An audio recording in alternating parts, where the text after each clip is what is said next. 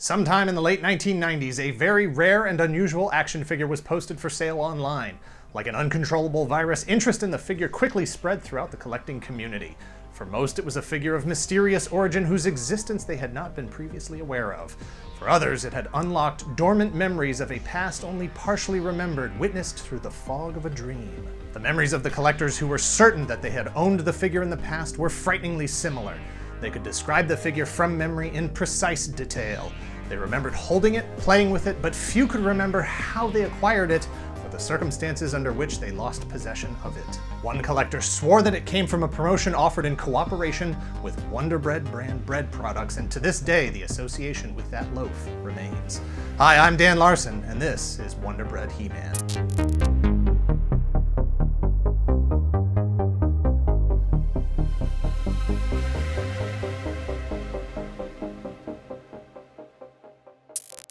Figure for sale online that day back in the 90s appeared to be a variation of the standard He-Man action figure from Mattel's Masters of the Universe. The sculpt, country of origin stamp, and paint application were all consistent with products that collectors were already exceedingly familiar with. For all intents and purposes, it was He-Man, but with brown hair instead of blonde and black boots instead of brown.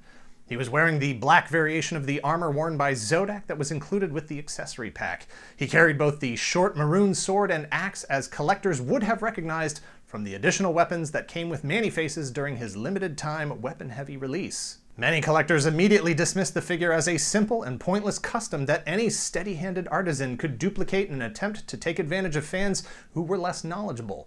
Those who had owned it in the past, however, believed immediately that it was real, and not only had they seen it before, but they had owned it. As the figure's exposure grew and more claims of legitimate figures surfaced, demand for an explanation intensified. How could it be real? How could it have escaped public awareness for so long? How could so many people have no knowledge of its existence while so many others could recount intimate details of their experiences with it?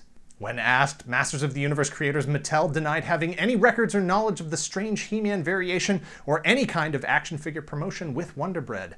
Could so many people have been so independently wrong about their own memories?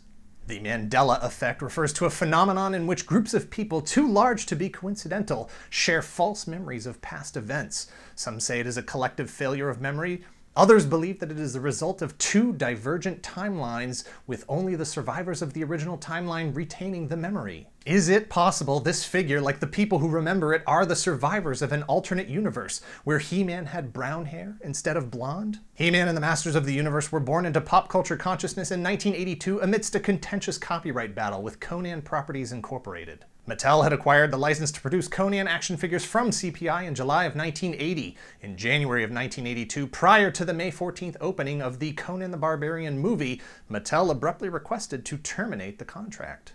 One month later, in February of 1982, He-Man and the Masters of the Universe were on toy store shelves. Two months after that, CPI agreed to terminate the contract with Mattel. In 1984, CPI filed suit against Mattel for copyright infringement, trademark infringement, unfair competition, dilution, breach of contract, and fraud. CPI claimed everything about He-Man was derivative of Conan and conceived while under contract with CPI, so all of He-Man's materials belong to and should be delivered to them immediately. Quote, he-Man is just Conan in a blonde wig. Mattel counterclaimed against Conan Properties Incorporated, its affiliates, and their subsidiaries for fraud. Mattel argued that CPI could not own the basic concept of a muscle-bound heroic fighter battling against wizards and monsters. It was no more derivative of Conan than Tarzan, Beowulf, John Carter of Mars, or Hercules. The court battle would last five years before a judge finally ruled that Mattel was not infringing on CPI's Conan brand after pointing out that the original Robert E. Howard Conan stories were in the public domain and there was not enough physical or philosophical similarity for He-Man to in any way damage the Conan brand.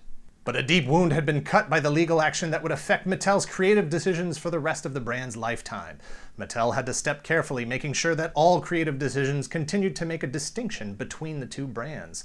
The worst thing that could happen would be for a figure similar to Conan to suddenly show up in the line, undermining the conclusion of five years worth of litigation, likely resulting in the complete devastation of the brand and a huge financial windfall to CPI if shenanigans could ever be proven. Based on our research, there was a promotion between Mattel and Wonder Bread in 1986. Instead of a figure, it was a series of trading cards. Is it possible that this was the source of confusion for some collectors? Some claim to have purchased him during a buy three, get one free promotion, but due to a lack of records at Mattel and no verifiable copies of an order form or packaging, there isn't enough evidence to state with certainty that this is where the figure came from. In 2010, as part of their Masters of the Universe Classics line, Mattel paid homage to the mystery of Wonder Bread He-Man by producing Wun-Dar, an official character with an official canon backstory, tying together several elements of the He-Man mythos.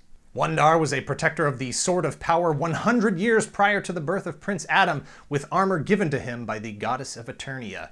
He also comes packed with a loaf of bread in recognition of the circumstances behind the character's unfortunate naming. Fans have chosen to refer to the mysterious vintage figure as Savage He-Man as a nod to both his 2010 canon Wun-Dar origin and his questionable evolution out of the original Savage Sword of Conan properties. Is it possible that Wonder Bread did ship out brown-haired He-Man figures to entrants in their trading card giveaway, or that it was part of an official Mattel promotion? Is it possible that this strange figure is the result of a customizer attempting to make a quick buck, accidentally setting off a chain reaction for a global hoax that has grown beyond their ability to control as hundreds of unscrupulous sellers trade in illegitimate goods? Is it possible that Wonder Bread He-Man is a remnant from an alternate universe Earth? If so, what other elements have changed around us and how many inhabitants of that other world survived? Has Mattel, as a result of their five-year battle with Conan Properties International, intentionally attempted to prevent the world from learning the real truth about the existence of this figure and its ties to Conan the Barbarian?